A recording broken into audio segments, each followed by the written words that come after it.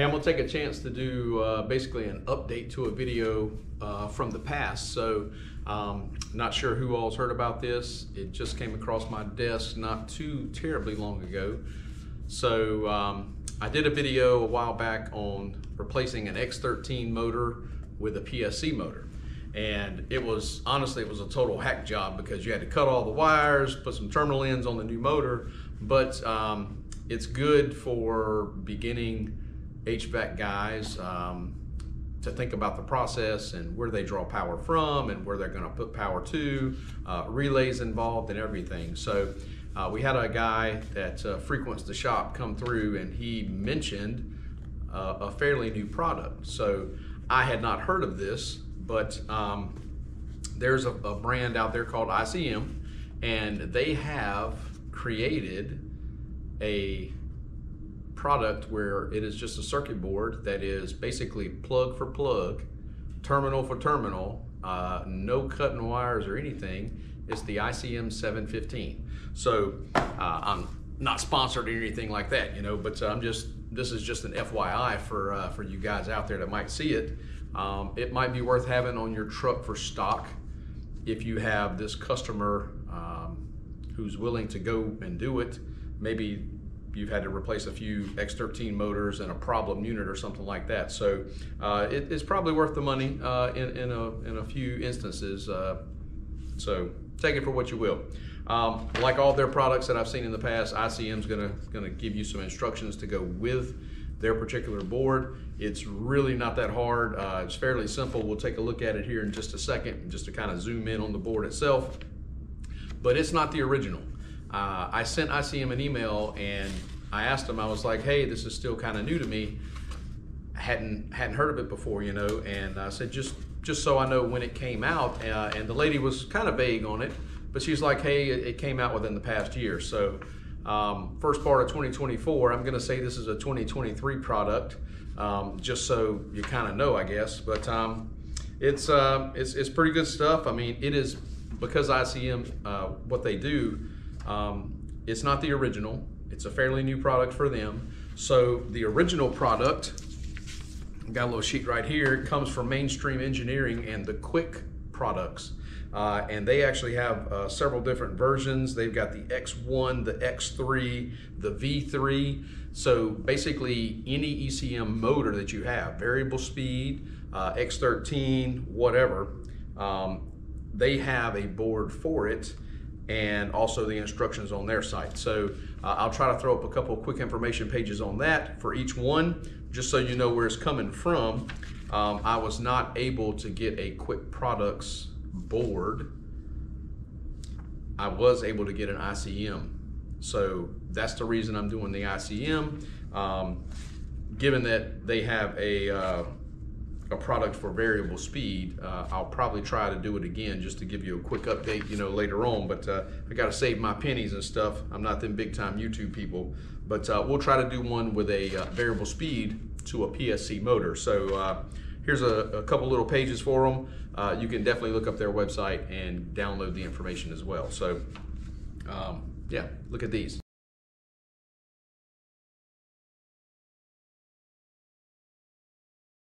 Now, with that being said, um, the uh, excuse me, the ICM 715 replaces only one of their boards, uh, and it replaces the X1. So it's it's real simple. If you have an X13 that's going to do two different speeds, like a heat and a cool, this is only going to give you a single speed. So basically, it's taking it down to uh, like a Goodman air handler board. You no matter if you're heat or cool, you're only getting one speed whether that's high, whether that's medium, whether that's low.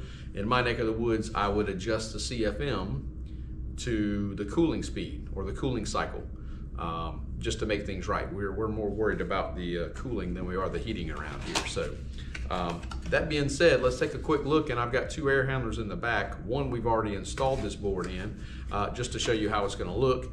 Um, the other one I'll use just to kind of demonstrate what it's gonna be. So off the bat, when you take it out the box, um, you know, pretty saran wrap. It's got a single page set of instructions. Um, if you've ever seen any air handler board, um, you know, these little black pieces right here, that's probably going to be your relay. And actually it goes in and tells you some voltage and amp ratings and stuff on it. Um, pretty standard stuff for something that looks like an air handler board.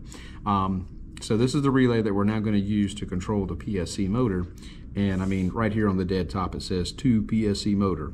We've got our speed, which is going to be basically your, uh, like your L1 side. And then your common is going to be your neutral or your L2. This, if I read the instructions correctly, can handle a 120 volt motor or a 240 volt motor. So um, one side of power and the other one is how this is going to lay out. But everything for your PSC motor is right here. You've only got a single speed tap.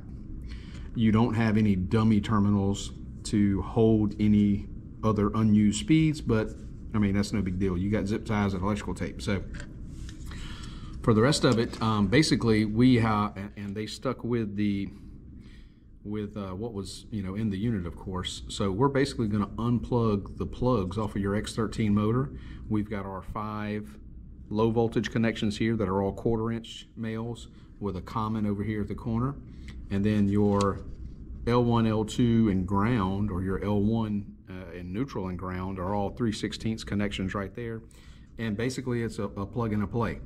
They do have a little test jumper and another terminal right here for 24 volts power constant, you know, your R connection, so 24 hot.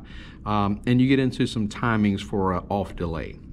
I'm not really worried about that. Uh, if you ever come across a situation where you're going to replace an X13 motor with a PSC, this looks like a pretty good option. We're going to try it out here in the shop, but um, I'm not worried about an off delay uh, or anything like that. If, if the fan uh, or if the thermostat cuts the fan off, I want it to be off. If it cuts it on, I want it to be on. So bypassing any extra wiring and jumpers or whatnot, we're just going to take it for what it is. No timings. So it this is going to make this X13 plugs and everything easy to turn this into a simple air handler. So this is going to be our new air handler board. So um, that being said, I'm gonna take you back in the shop and... All right, let's take a look at how this is gonna work. This is a carrier unit that we have in the shop. It is not an X13 per se, but it looks exactly like the, you know, as far as the connections and everything. So right here, uh, pay attention, I've got a low voltage white wire on the number four, and I've got a low voltage blue wire on the number two. I've got the power off to this unit, so before you do any connecting and disconnecting, we're gonna unplug the unit itself or turn the breaker off, and I'm gonna remove those two um, this is going to be placed on the J taps on this uh, this new board we have. So J2 and J4. Blue one is 2, white one is 4. And then the, the high voltage power and the 24 common is going to be in a plug. Um, so you can't mess it up. 3 16 connections. The, the 24 common is going to be this brown wire. It's going to have a quarter inch connection and we have a blank terminal that's going to line up on the board. What I would tell you here, let me turn this a little bit, get my cameraman going here if you do this on your unit, uh, which is very possible, you'll notice that there's a lot of holes cut in the top of this, uh, this uh, top service area. And we have one that's rectangular. I would not want to mount this board down here to have the wires bent around and stuff like that. Um, I guess if you had to in some situations, but that's probably not the best look. So if you look and follow what the manufacturer did, you can actually take and run these wires back up through to that top area. Um, you could leave the ground in place if you wanted to, or you could relocate it. And we would put this service, uh, the circuit board up here somewhere on top of this panel or uh, top of this uh, shelf here, and that way we could secure it, uh, um, you know, with a couple self-tapping screws or whatever. But mainly, all the wiring would be up here in the top. So, that being said, uh, this plug itself, this plug itself ain't hard, right? We've already went through it. So I've got a dead spot right here with the neutral ground and L1 connections with the common. We are going to plug that straight away into there, right? I've got my low voltage wires. Uh, if you remember, the white was on 4. They call it J4 on here. And I've got the blue on 2, which is J2 on here. Um, and that would be pretty much the X13 connections here. The only thing we're lacking is uh, if I had a PSC motor here, which I'll take you to the unit on my on my uh, to my left or whatnot. But I would put uh, my speed that I'm using here and the other side of power uh, on this common terminal. But uh, we could easily secure it up in the top. Uh, but let me take you over here and I'll show you. Here we are. This is the unit that uh, the guys had put one in.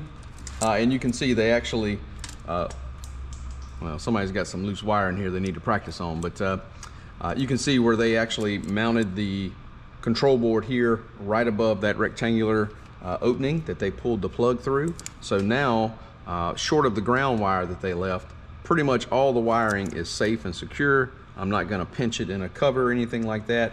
They have chosen to run, uh, the white in this case is not a neutral, it's my other side of power for this motor, which is a, a 208, 240 uh, setup on the air handler. But I've got a four speed motor, I've got black, red, blue, yellow. So this is more likely a high as uh, the black wire, red is gonna be low, and I've got a medium high and a medium low to choose from. So we're gonna individually terminate each um, of the speeds that we're not using. You never wanna put power on uh, or connect those speeds together, individually isolate them. But I've got my other side of power on the common, and I've got my speed wire, my black for my high on the actual speed tap. So uh, the unit's turned on, plugged in. If I hit the um, if I hit the fan on at the thermostat, it's going to take it a couple seconds, uh, about five seconds or so, uh, maybe 10, uh, for the thermostat to um, send that signal for the fan to be on. But we now have a PSC motor in place of this X13. Turn it off. Shouldn't take but a second.